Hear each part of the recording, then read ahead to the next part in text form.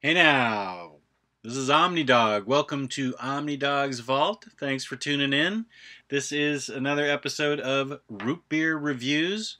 Got my root beer? Gonna take a sip. Excuse me. I love root beer. It loves me. We're gonna be reviewing two books that are both are kind of under the radar. One has a very famous writer, but I think maybe it's uh, not gotten as much public- publicity as it deserves. Um, but I think that once it gets into the hands of people, that will change. First book we're going to review Lady Mechanika. That's a little bit under the radar. And the other book we're going to review review is Roughneck by Jeff Lemire. The only reason I think it's under the radar is it's just um, I haven't seen it uh, on any best of lists yet. And once it gets out there and gets into the hand of reviewers, it will be on best of lists. It's that good. But we will start with Lady Mechanika. Let's make sure I have them in the right order one, two, and three. Lady Mechanika, drawn, written, and created by um, my iPhone that's going off right in the middle of this review so you can see how professional I am. I'm not even going to edit this out because, quite frankly, I don't know how. So maybe in the future I can, but uh, right now I can't. Lady Mechanika, um, written, drawn, and created by Joe Benitez, and we'll start out with the art because that is the business, as they say. This uh, artwork is really, really astonishing, and it is gorgeous. It's got a little bit of a muted color palette right here, but there's Lady Mechanika. Lady Mechanika woke up one day with no memory, mechanical limbs, and augmented eyes in Victorian England, steampunk era 1880s ish. But it's very much, as, as you can tell by everything here, it's a steam. You can see her eyes right there. there she's got augmented vision. It's very much a steampunk probably one of the best steampunk books I've ever read. Um, Lady Mechanika has no memory of what happened to her. She was the victim of a mad scientist experiment where she has those mechanical limbs and augmented eyes, and she spends all three books trying to figure out who she is, who she was, and what happened. But the artwork is nothing short of spectacular, as you can see right here that Joe Benitez uh, knows how to draw. That is one thing I can say with a surety. This guy knows what's going on because it is a fabulously drawn book. Let me peel off the post-it and show you this amazing piece right here. Not only is Lady Mechanika a strong female protagonist, but all the and almost all of the antagonists in this book are strong females who are very much uh, quick on their feet. Lady Mechanika kicks ass, and so do her foes. Uh, her foes um, are people who want to get a hold of her, take her apart, see what makes her tick, and of course, turn her into a weapon. Uh, that's kind of the overarching theme of the story itself. Um, someone is taking people turning them into mechanized humans. And there are other people that want to find out how that's being done so they can turn them into weapons. And um, this is one of her foes in the beginning of the book. This is what he he looked normal beforehand, but this is what he looks like now after getting caught in a tangle with Lady Mechanika. As you can see, He's got an iron jaw, and I think he's missing some other things on him too. He walks with a cane. Lady Mechanika takes butt, kicks butt, and takes no prisoners. She doesn't take butt and kick prisoners. She kicks butt and takes no prisoners. There's also a little bit of humor in this book with her sidekick, who's an inventor, um, who happens to be a drunk and an inventor, but he's very much uh, Lady Mech- right there, you can see him. Lady Mechanika's uh, friend who has helps her with all kinds of his gadgets, and there's a shot of the strong female antagonist. Um, and here's a really beautiful drawing of an airship, a steam. This is puts the steam in the steampunk aesthetic. Um, check this baby out. That's some intricate drawing right there, um, and it's quite remarkable. Uh, the drawing that Joe Benitez does. Now, what's the story like? Um, I like the story. It was fun. Not everything has to be Watchmen or Dark Knight Returns or Maus. Uh, sometimes you need a good popcorn movie, even after you've seen Casablanca and Citizen Kane.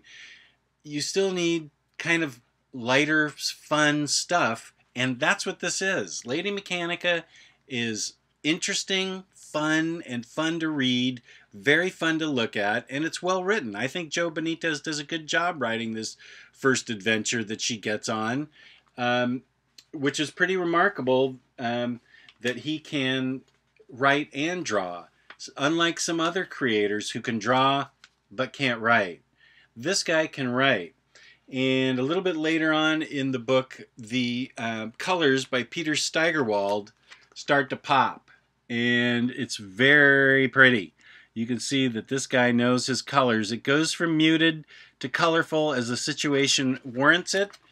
And um, here's another one of my favorite um, parts with Lady Mechanika in it. In the first book, I love this drawing right here. I'll get it straight one of these days. There we go. So, um, not everything has to be deep, several layers deep and everything. Sometimes you just need a fun adventure. These are fun adventures. I really enjoyed the first book. The second one was written by M.M. Chen. Joe Benitez turned over second one called The Tablet of Destinies. Um, Joe Benitez turned over the um, writing to M.M. Chen. Um, it's a little heavier handed. Uh, the color palette's a little darker. The story is longer, a little more complicated, and she she generally goes uh, from trouble spot to trouble spot. But along the way, there you can see some of the gadgets. Along the way, she runs into other strong female protagonists that help her out, that she's able to help out. It does happen organically. It does flow. Um, it is a little wordier, the Tablet of Destinies the Tablet of Destinies. Yeah, here's her uh, female protagonist in this one. Um, they tend to be very ruthless, these female uh, antagonists. And here's a really cool shot in midair while hanging on to her protege Winifred, also known as Fred. She's in midair, in flight, by herself, dealing with all these guys beating the crap out of all these guys that are ganging up on her and Fred. Uh, this is one of my favorite panels because she's, uh, you know, falling in the sky before her apparatus can start up again, and she's she's uh, kicking butt right there. So, Lady Mechanika is definitely worth your while because now here's another protag- uh, strong female protagonist that she runs into that ends up helping her and um, it's a little bit of a tangled story. What what it has to do with the Tablet of Destinies? It's got a little bit of um, an Indiana Jones feel to it. But um, and then the third book is The Lost Boys of West Abbey, which primarily focuses on boys who are missing, and of course trying to be turned into some type of mechanized beings. Um, that's what she's battling. The, the overarching themes are um, turning uh, people into mechanized animal weapons, and where did she come from? How did she become who she is? Uh, I like Lady Mechanika a lot. I think you should give it a chance. Um, it's light and fun and uh, is just very enjoyable. I dug it a lot. So that's Lady Mechanika. Now, here's a book that's a little heavier, not weight wise, but subject wise. And nobody does frozen tundra and hardcore feelings of people of Canada like Jeff Lemire. This is Roughneck, and as you can see, uh, it's a fairly thick uh, graphic novel, very nicely done, very nice paper, and um, now Jeff Lemire's artwork is not for everyone, but I will tell you this: he can get more use out of eyebrows than I think anybody else can. He conveys what he lacks in maybe um, dynamic character poses. He makes up for in dynamic facial expressions on his characters. Just with their eyebrows, he conveys a great sense of emotion. The book is done in this sort of black and blue and white, little washed out color palette of blue. Um, but you can see Look at that guy. Do you want to mess with that guy? No, not really. Um, let me read to you what the story's about so you get an idea. Derek Oulay's glory days are behind him. His hockey career ended a decade earlier in a violent incident on ice. Since then, he's been living off his reputation in the remote northern community where he grew up, drinking too much and fighting anyone who crosses him. But he never counts on his long lost sister Beth showing up one day out of the blue, back in town and on the run from an abusive boyfriend. Looking to hide out for a while, the two siblings hunker down in a secluded hunting cabin deep in the local woods. It's there that they attempt to find a way to reconnect with each other and the painful secrets of their past, even as Beth's ex draws closer and closer. So, um, this book is uh, raw. It is spare, it's sparse, it's haunting, it feels haunted. Um, even though the uh, a lot of it takes place, almost all of it takes place in the outdoors, it feels very closed in, uh, as in a place you can't escape from. So um, that's the the quiet surroundings. They're they're quiet. They are constantly. Um, you're constantly hearing the crunching of snow. Um, you're you're constantly seeing the same um, water tower, uh, the town welcome to the town sign, the same hockey rink, the same bar. You see them in different settings, and they take on different meaning every time. But it gives you a feeling of, even though they are in the great uh, white north, that they are uh, trapped. So Derek is trying to. Both of Derek and his sister Beth, called Bethy in this, are um, kind of. They meet up after not having seen each other in a number of years. They meet up uh, when they're both at rock bottom. And when you get a sense, look at this picture, you get a sense of a guy you do not want to mess with. So you may not dig Lemire's drawings, but boy, do they con- they convey emotion like nobody's business.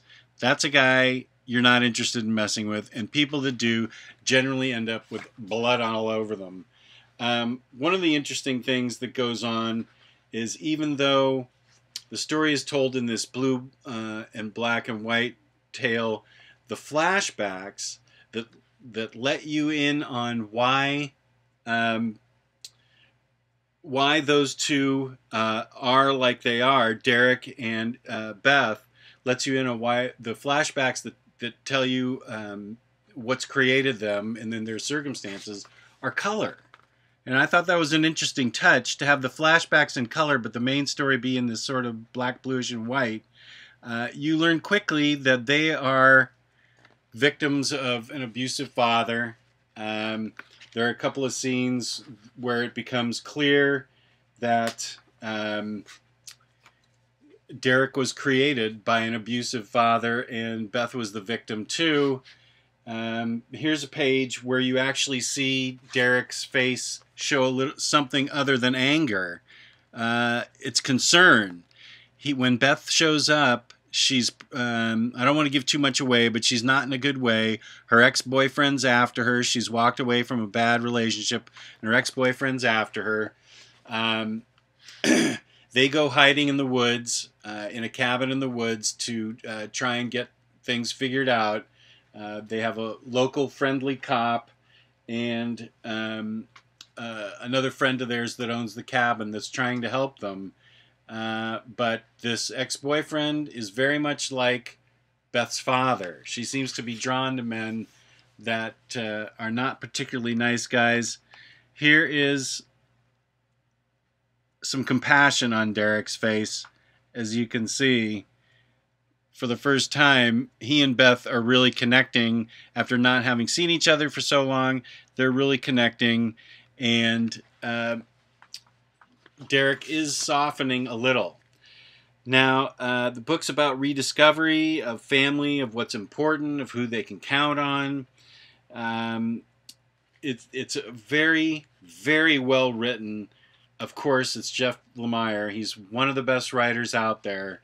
Um, it's very well written, very emotional, and I didn't cry at the end like I did with Sweet Tooth, but I was still moved to the point where I was almost choked up.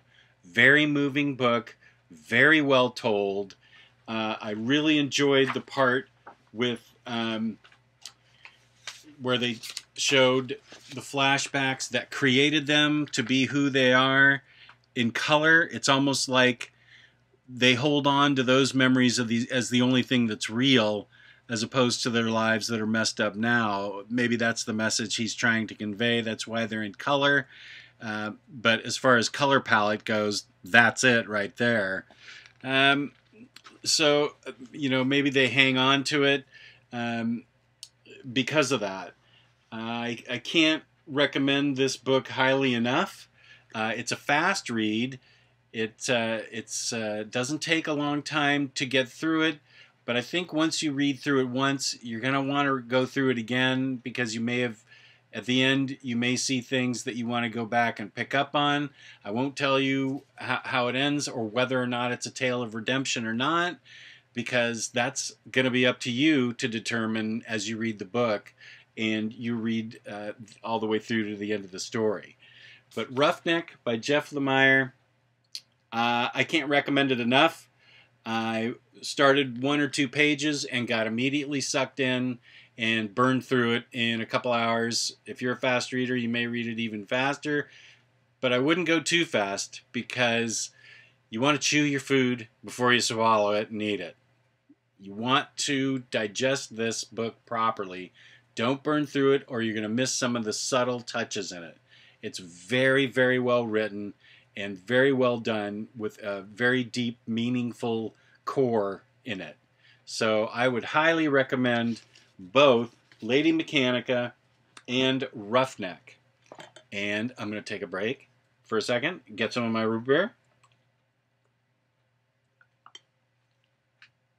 because I've been yapping for 15 minutes and I'm about myself and stuff. So if you get a chance, if you like this video, leave me a note. Tell me if you want me to review anything else. Uh, also, other good YouTubers, Gabe Infinity Watch, he's a friend of mine on YouTube. A Week in Geekdom covers all things geeky. Hardcover reviews, he's well known and uh, does a good job. And then the man who started it all, the Omnibus Collector, Riley Moore. Give those guys a shot and listen to what they have to say. They're all really good guys, and they've all got really good insights into comics. So thanks for tuning in. I appreciate it. I appreciate every kind comment that you leave. Please don't leave any mean comments. I can't take it. I just can't. Okay, sorry. Uh, so uh, until next time, this is Omnidog and Omnidog's Vault signing off, saying peace and love, peace and love.